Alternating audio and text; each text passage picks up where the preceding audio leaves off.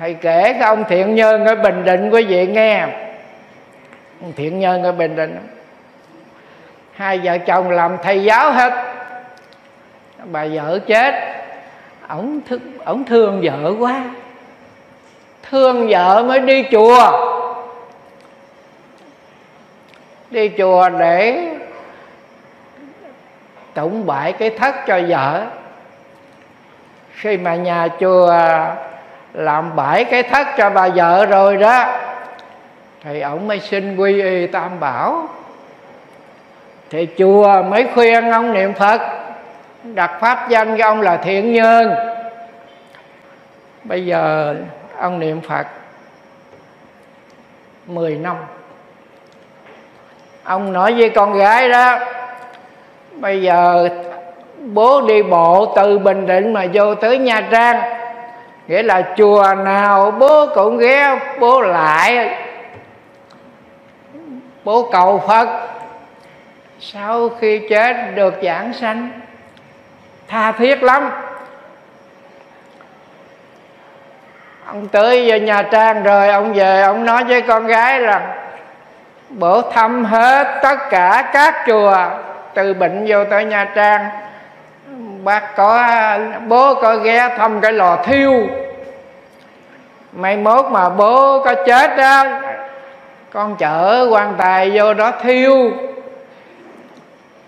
Rồi đem cái cốt à, về thờ. Sau khi ông thiện nhân chết rồi chở vô nhà trang thiêu rồi mới lưu xá lợi. Thì cô con gái lớn á, làm giảng viên đại học ở sài gòn cô mới bê hết cái dĩa xa lợi về sài gòn thật, quý thầy ở bình định mới vô. Làm cái lễ chung thất.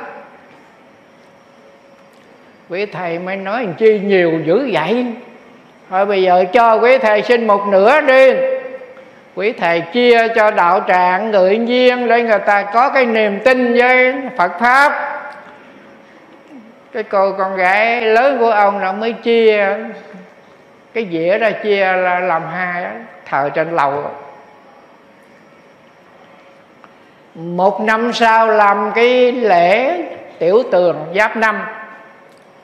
Cô lên lầu, cô dọn cái bàn thờ, cô thấy cái dĩa xa lợi đầy hết, không có thiếu viên nào hết. Cô mới nói, ủa, cái hồi đó mình chia ra cho quý thầy bình định một nửa, bây giờ một nửa mình thờ, sao bữa nay cái dĩa đó còn nguyên hết vậy?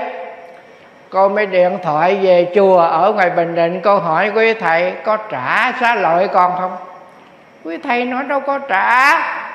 Nhưng mà quý thầy nghe người ta nói, ai mà thờ xá lợi nó nở? Nở. Như vậy là ông thiện nhân tin pháp môn niệm phật rồi chấp trì danh hiệu niệm phật. Mà đến cái ngày cuối cùng hết là thiêu lưu xá lợi. Mà cô con gái cổ nói, con là giảng viên đại học, không có tin vậy đoan nhưng mà con đem cái dĩa xá lợi bố con về quận 11 con thờ mà sao bên nay nó đầy đủ, nó không có mất. Viên nào hết.